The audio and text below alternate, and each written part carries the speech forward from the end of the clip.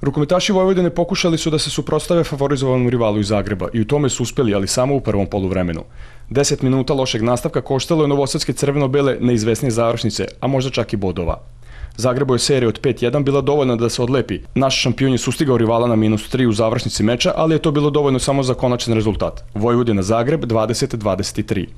Treba istaći da novosađani nisu igrali u kompletnom sastavu, nedostajali su Prodanović, Trkulja i Nikolić, a Milan Mirković debitovao je na ovom meču na poziciji desnog beka. Pokazali ste bili danas bolja ekipa, a isto takođe će da čestitam ovoj moje ekipi na verovatnoj, neverovatnoj požrtvovanosti borbi. Možda ostaje mala žal, nismo uspeli da iskoristimo njihov umor i ta njihova preputovanja, možda smo imali samo još možda trunku malo više koncentracije ili malo više neke svežine ili imamo još jedno, dva, tri povređene igrača, možda bi uspeli da napravimo neke, neko ovaj, iznenađenje. Nastojali su igrači trenera Borisa Rojevića da iskoriste umor zagrebačke ekipe, koja je pre samo četiri dana priredila veliko iznenađenje u Ligi šampiona, pobedivši u gostima Nemački Flensburg.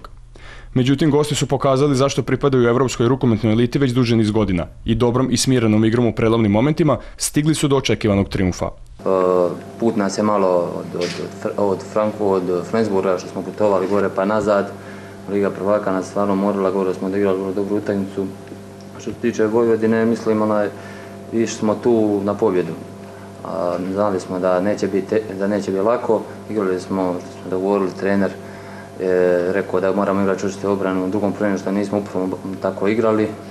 Eto, opravili smo ulogu favorita. Meni što je drago da mi ove godine pokazujemo Seha Ligi da ćemo biti ovaj, dostojan protivnik svakome, znači više ovaj, nismo ono što smo bili nekih prethodnih godina da gubimo sa dvocifrenom razlikom. Momci pokazuju karakter, ne padaju i kad gube ovaj, bore se do kraja da izgube sa što manjom razlikom. U narednom meču Vojvodinu očekuje još jedno teško gostovanje ekipi koja pripada samom evropskom vrhu, Vardaru u Skoplju.